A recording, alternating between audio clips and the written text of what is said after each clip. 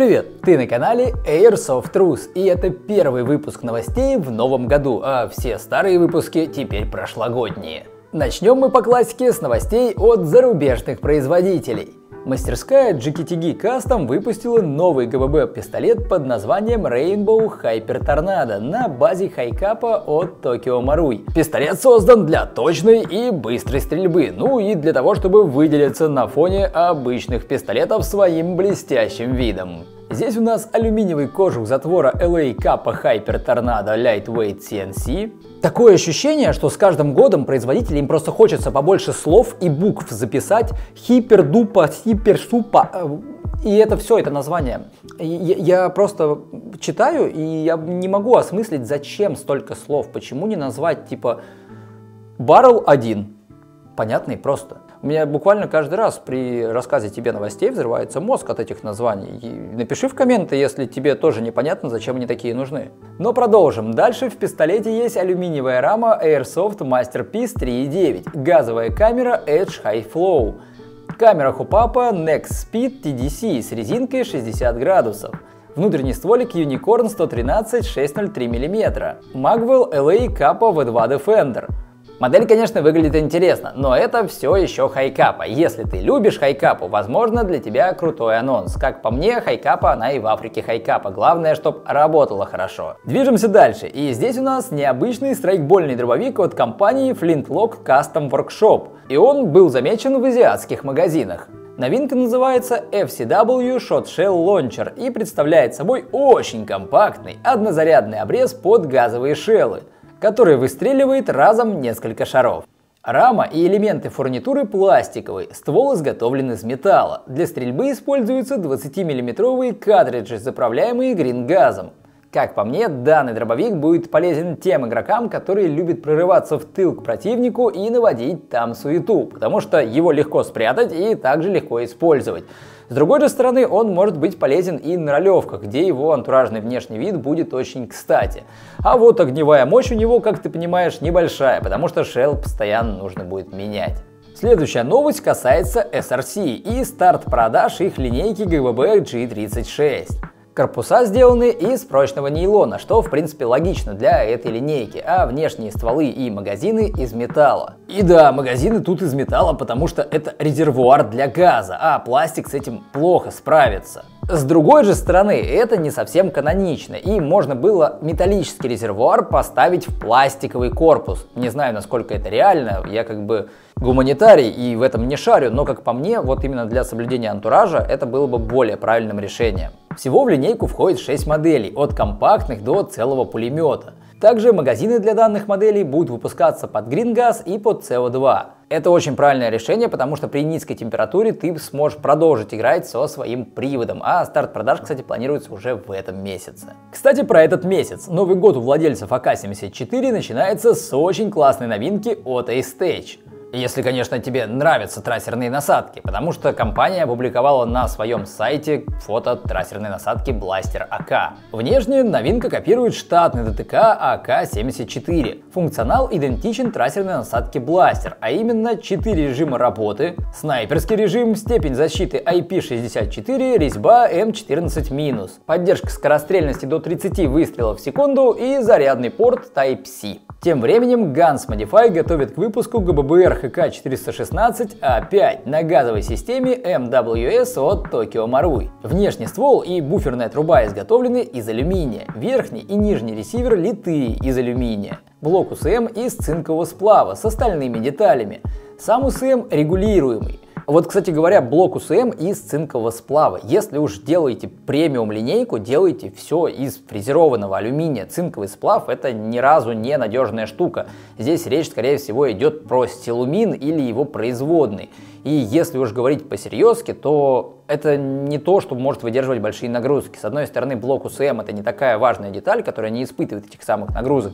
А с другой стороны, мне бы было спокойнее, если бы я знал, что там просто фрезерованный алюминий. Ну, или сталюга полноценная. И я бы был даже готов за это заплатить, потому что понимал бы, что это на всю жизнь у меня. Если мы берем УСМ от огнестрельного оружия, то УСМ практически вечен, с ним ничего не произойдет. Будет какой-то наклеп, просто подсточил напильником и используешь дальше. Сама модель будет выпускаться в двух версиях. Это Full CNC Limited и Level 2 в черном и песочном цвете. Лимитированная от обычной версии отличается методом изготовления деталей и материалом. Как различается и каким материалом не указано. Винтовки в черном цвете запланированы на этот месяц. В цвете тан должны появиться в продаже в феврале. Видимо, с песочным какие-то проблемы. Зимой и правда до песка тяжело добраться через снег, чтобы посмотреть, какой именно цвет нужен. Поэтому, видимо, какие-то затруднения есть в покраске. Laylax выпустила автоматический лоудер под названием Automatic Blaster BB Loader. Ну понимаешь, BB Loader для твоих любимых BB balls ов. Новинка представляет собой пластиковый квадратный контейнер на 1300 шаров с автоматическим механизмом зарядки. Ну правильно, теперь и лоудеры у нас на батарейках, ничего больше мы не делаем сами. Это, конечно, упрощает жизнь, но оставьте хоть что-то. У нас теперь пальчики будут слабые. Раньше у страйкболистов были сильные большие пальцы, они лоудером работали, а теперь даже это делать не надо. Для зарядки механы необходимо просто совместить горловину шахты магазина с соплом на контейнере и нажать вниз комплекте идут 4 насадки под разные типы AEG и GBB магазинов. И вот это, кстати, очень круто, потому что, допустим, маруевские газовые магазины нельзя зарядить обычным стандартным цимовским loader ом, и возникают некоторые проблемы, если разных loader ов у тебя нет, а пушку ты меняешь, оставил старый loader. За это отдельное спасибо. Angry Gun анонсировала новый глушитель QDC MCQ PRT CUTS. Что я там говорил про название? Им просто нравится. Им, им просто нравится надо мной издеваться. С глушителем идет стальной пламегаситель и съемный кожух CAT Suppressor Shroud. Корпус глушителя и кожуха из алюминиевого сплава 6061T6. Модели будут выпускаться в черном и песочном цвете. Хорошо бы еще, если бы производитель давал информацию о совместимости трассерных блоков и глушителей, потому что это сейчас реально актуально. Тем временем ВЕ начинают обновлять свои ГББР продукты. Первыми изменения получат винтовки и карабины АР. Это М4, М16, ХК-416, которая хоть и не совсем АР, но все-таки похожа, Р5 и Т-91. А теперь что конкретно будет обновлено? УСМ и затвор, а также запирающие детали затвора, чтобы достичь более стабильной работы и ресурса, курки со спусковыми крючками, ударники, нозлы. Бодики будут также обновлены с новой геометрией под новые детали, так что совместимость у них, в общем-то, пропадет со старыми моделями. И еще газовые CO2 магазины тоже не будут совместимы со старыми моделями, так что будьте с этим внимательны и аккуратны. А еще производитель в дальнейшем планирует обновить и другие свои изделия газовые, соответственно, вполне возможно, что скоро мы увидим новые итерации VE, которые вообще не будут совместимы со старыми. С одной стороны, это неплохо, потому что мы получим более современную версию, она будет лучше работать, будет лучше во всем. А с другой стороны, если у вас есть какие-то старые запчасти, старые модели, то с их ремонтом придется туго. Arcturus планирует выпустить во втором квартале 2024 года новую линейку приводов с новой системой под названием FE ETU. Как пишет сам производитель, это будет система с выдающимся набором функций, доступных и значимых для большинства игроков. Слова, конечно, громкие, и слова, конечно, громкие, но что это значит для нас, реальных игроков? А значит это регулируемую точку срабатывания спускового крючка, активное торможение, предварительный взвод, программируемые режимы стрельбы – не знаю, как для тебя, а для меня, как для игрока, это вообще не нужные функции. Но могу ошибаться. Пиши в комменты, насколько для тебя это актуально. Первыми моделями с такой системой будут АК-12 и АК-12К. Так что теперь АК-12 Арктуруса есть в обычной версии, версия МЕ, версия ПЕ и будет вторая версия FE. Тут на самом деле уже каждый может выбрать себе АК-12 под свои характеристики и функции. Лично мой выбор, как ты понимаешь, самая простая версия, без какой-то сложной электроники внутри. Также Арктурусы выпустят ППК-20, который уже будет похож на огнестрельный прототип и тоже будет с системой FE. Движемся дальше, к CNC, которые выпустили в продажу Rex MG7. Это глушитель. Его корпус сделан из алюминия на ЧПУ станке. Покрытие анодирования в медном цвете. Глушитель можно установить на резьбу М14- или на ДТК Cherry Bomb от тех же CNC. А из приятного внутрь можно установить трассерный блок. Компания Ace One Arms выпустила M-Lock цевья для Сайги от Tokyo Marui. Признавайтесь, бандиты, среди нас вообще есть владельцы Сайги от Tokyo Marui? Штука-то интересная, самому посмотреть хочется.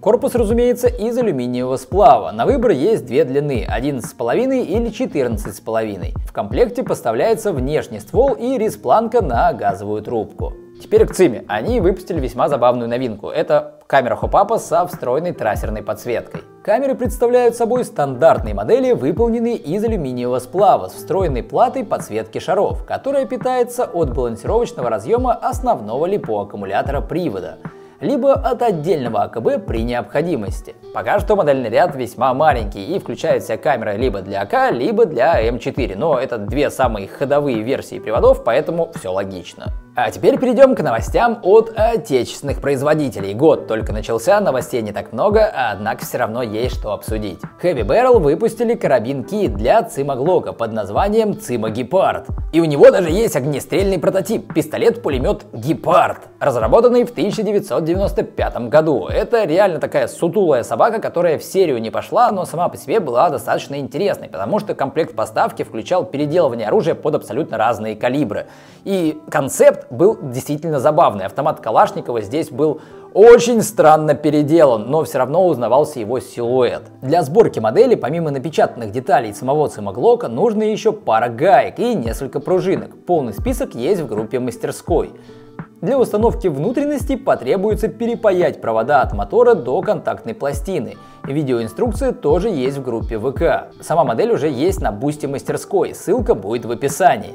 Вот наши мастерские производители зачастую понимают, что нужно конечному пользователю. Не еще одна хайкапа, не еще одно цевье для МВС от Tokyo Marui, а нормальные такие кринж-стволы, которые в страйкбольной варианте никто не выпускает. Так им показали первое видео с демонстрацией работы своего нового гранатомета М203 в игровых условиях. Дальность полета на видео впечатляющая, и также можно заметить, что гранатомет можно использовать на различных платформах, а не только на приводе. Ждем больше подробностей. И, кстати, мне очень нравятся страйкбольные презентации. Дело в том, что когда тебе показывают, допустим, компьютерные игры, там всегда врут. Графику подкручивают, рендерят. Когда тебе показывают технику, там тоже одни рендеры, рендеры, рендеры. Когда показывают страйкбольное оборудование, что ты в видео увидел, так это на реальности и будет работать. Есть, конечно, некоторые исключения, но чаще всего все по правде. Вот в случае с тагом это как раз таки так и есть. Что таги показывают, то потом и выходит, и также надежно работает. И последняя по списку, но не по значению, новости нашего магазина Airsoft Rus. В ближайшее время к нам приедет поставка от Snow Wolf, где будут подствольные гранатометы GP25 и GP30. Данные модели предназначены для установки на привода АКМ и АК-74 от ЦИМа. С другими производителями потребуется доработка, но установка все еще возможна. В комплекте с гранатометами идут старые добрые газовые гильзы. У ГП-25 гильзы на 50 шаров, у ГП-30 на 100 шаров. Присутствуют механические прицельные приспособления с возможностью регулировки. Есть флажок предохранителя и рабочий экстрактор для извлечения отстрелянной гильзы из канала ствола. Теперь ассортимент отечественных гранатометов в нашем магазине стал чуточку больше, что не может не радовать. И это были все новости на сегодня. Если еще не подписался, самое время это сделать. Ну и разумеется, поражать класс, если выпуск понравился. А на этом все. Пока.